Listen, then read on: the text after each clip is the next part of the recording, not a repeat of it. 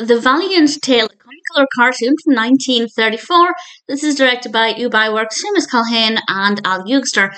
And I have to say, I didn't really care for this one. I didn't find the story to be that interesting. I'm wondering if it's based on a fairy tale, because it seems like one of those stories that's based on a classic tale, and it's just not one that I've ever heard of before. So if that's the case, I'd be interested to learn more about that. I don't know if it's connected to the brave little tailor or the valiant little tailor.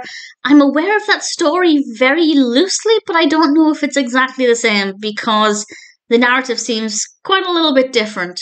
Maybe it's just a very short version of that. But either way, we have this king being chased by this giant, and then he goes into the tailor's shop, and the tailor is there to help him out of this tricky situation. And the tailor is busy working and sewing, and I love the movement when the tailor is sewing. I just think it's so fluid and so well done. That part of it I did find to be pretty good, and I like the design of the tailor. In fact, the animation of all of the characters is very good, but I would say that a lot of the backdrops are not that interesting or they're really cluttered and messy. And I think this might be a personal preference, but I've mentioned it before.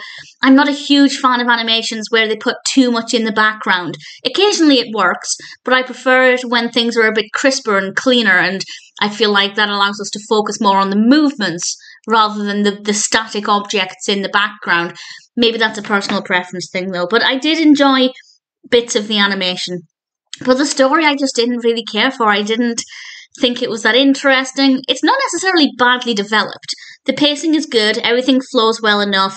We move from one point to the next in a way that doesn't feel forced. It makes enough sense. I just didn't find it interesting as a concept.